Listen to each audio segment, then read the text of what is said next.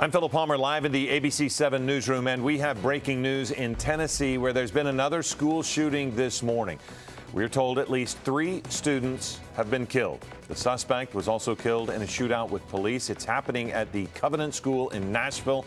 That's a private Christian school, preschool through sixth grade.